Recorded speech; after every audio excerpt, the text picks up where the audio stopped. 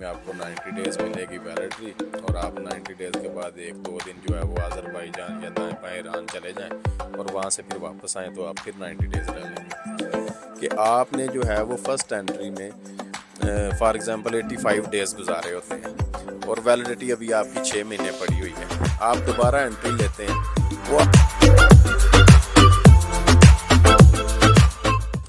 हाउज़बिल्लिमिनशैतानरजीम बसमीम लब्बैक लब्बैक लब्बैक या रसूल अल्लाह सल्लल्लाहु अलैहि वसल्लम उम्मीद करता हूँ सब दोस्त खैरियत से होंगे अच्छी ज़िंदगी गुजार रहे होंगे भाई आज की वीडियो का टॉपिक आपने देख ही लिया है कि हम बात करने वाले हैं तुर्की का मल्टीपल वीज़ा के बारे में तो मल्टीपल वीज़ा के बारे में बहुत सारी कन्फ्यूजन्स हैं। इवन लोग मल्टीपल वीज़ा ले भी लेते हैं तो फिर भी वो कंफ्यूज रहते हैं कि भाई, इसका ड्यूरेशन ऑफ़ स्टे कितना है एंट्रीज़ हमारे पास कितनी हैं, और जो है वो ये एक्सपायर कब होगा, और ये इसके डेज़ की उनको समझ नहीं आती और एंट्रीज़ की समझ नहीं आती। तो आज हम इस पर बात करेंगे और वीडियो को दो हिस्सों पर तकसीम करते हैं। पहले हिस्से में हम आपको बताएँगे कि ये इसको हासिल कैसे किया जाता है, इसकी फ़ीस कितनी है। और दूसरे हिस्से में जो अभी मैंने बातें की, इन सवाल के हम जवाब देंगे। तो वीडियो को शुरू करने से पहले जो दोस्त नए हैं, वो मेरा चैनल सब्सक्राइब कर लें, क्योंकि मैं तुर्की से मतलब इंतहाई मुफीद मालूमती वीडियोज़ लेकर इस चैनल पर हाज़िर होता हूँ। और आप वीडियो को लाइक कर देना अगर आपको मेरी इन्फॉर्मेशन पसंद आए तो। अच्छा जी। ये मल्टीपल एंट्री वीज़ा जस्ट उन लोगों को मिलता है जो पहले एक या दो दफ़ा तुर्की विज़िट कर चुके हों।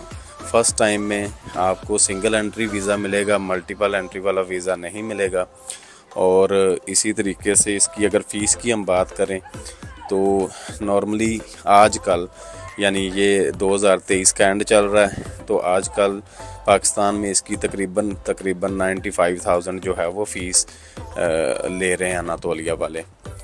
अब इसके बाद लोग जो है वो ज़्यादातर यहाँ पर आकर लोगों को ये गाइड किया गया है कि आपको भाई टीआरसी कार्ड की ज़रूरत नहीं है आप मल्टीपल वीज़ा ले लें वही काफ़ी है। इसमें नब्बे दिन की एक एंट्री मिलती है। आप नबे दिन रहने के बाद जो है वो वापस जाएँ और एक दो दिन बाद दोबारा एंट्री ले लें तो आपके फिर नब्बे दिन बन जाएँगे। तो आप इस तरह से रहते रहें और आप होंगे भी यहाँ पर लीगल तो आप पर कोई इशू नहीं आएगा। तो ये सरासर गलत बात है। असल में इसकी वैलिडिटी जो होती है, वो होती है वन ईयर वैलिडिटी यानी ये एक साल के लिए वैलिड होता है और मल्टीपल एंट्रीज होता है। ताहम ड्यूरेशन ऑफ़ स्टे जो होता है, वो 90 डेज़ होता है। अब इसके मतलब जो है, वो कन्फ्यूज़न है। लोग समझते हैं कि सिंगल एंट्री पे आपको 90 डेज़ मिले हालाँकि ऐसी बात नहीं है, आपके पास टोटल 90 डेज़ होते हैं।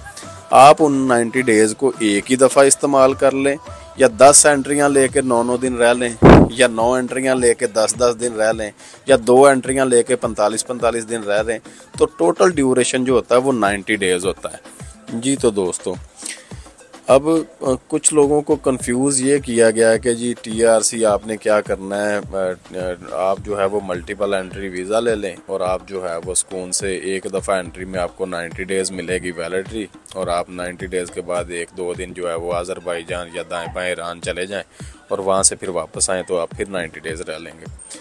तो इस तरह से नहीं है। अब फिर उनको जो है वो एक चीज़ और समझ लेनी चाहिए कि वीज़ा एटलीस्ट वीज़ा ही है और रेजिडेंस परमिट जो है वो उसकी खसूसियात में वो वीज़ा तब्दील नहीं हो सकता। रेजिडेंस परमिट पर आपको मुस्तकिल तौर पर सिम मिल जाती है। आपका जो है वो बैंक अकाउंट ओपन हो जाता है। उसके अलावा अगर आपके साथ बच्चे हैं तो वो स्कूल में एडमिशन उनको मिल जाता है। और इसी तरीके से आपकी रेजिडेंसी का पीरियड भी काउंट होता है। जैसे कि आप after eight years long term residence permit apply करना चाहते हैं, या जो भी सिटीज़नशिप के कवायद ज़ाबत हैं, अगर आप उनमें क्वालिफाई करना चाहते हैं तो वो रेजिडेंस परमिट का ही पीरियड काउंट होता है। वीज़ा एंट्री का परमिट उसमें काउंट नहीं होता।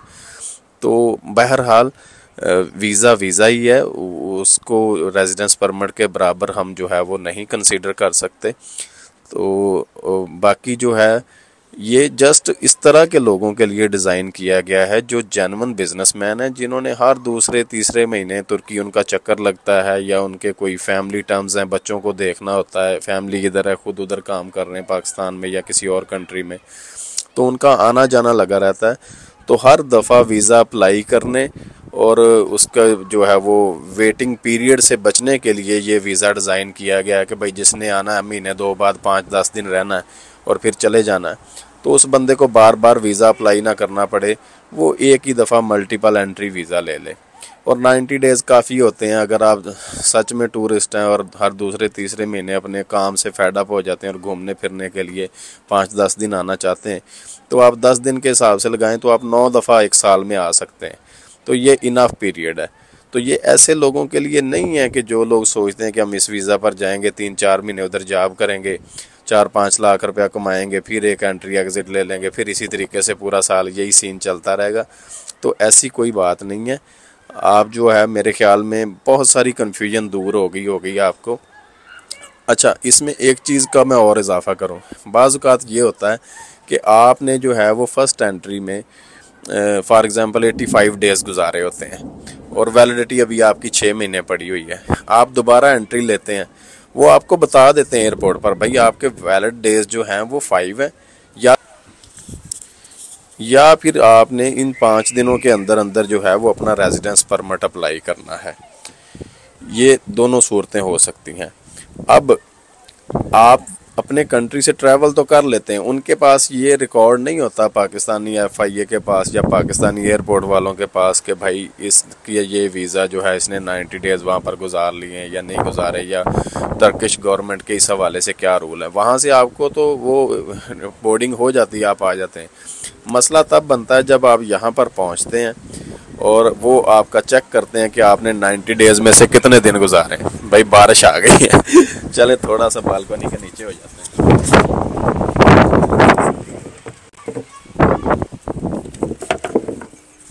अच्छा जी। मसला तब बनता है जब आप जो है ना वो देखते हैं कि भाई इसके तो 90 डेज़ में से इसने काफ़ी दिन जो है वो, या फॉर एग्ज़ाम्पल 85 डेज़ या फिर 80 डेज़ आपने स्पेंड कर लिए। तो वो फिर अगर आपका एक दिन भी रहता है तो वो आपको एंट्री दे देंगे लेकिन आपसे एक पेपर साइन करवाएँगे कि इस बात का हमने आपको नोटिस दे दिया है कि आपके पास एक दिन या दो दिन वैलिड है। बस भाई। अंदर जाना पड़ेगा। जी तो दोस्तों बालकोनी में आ गई थी बारिश में आ गया हूँ अंदर कमरे में। तो वो एयरपोर्ट पर आपको आगाह कर देते हैं कि भाई हमने आपको जो है वो आपके नोटिस में ये बात ला दी है कि भाई आपके पास जस्ट फाइव डेज़ हैं, या तो आप विद इन जितने भी दिन आपके बचते होंगे, मैं मिसाल के तौर पर बात कर रहा हूँ।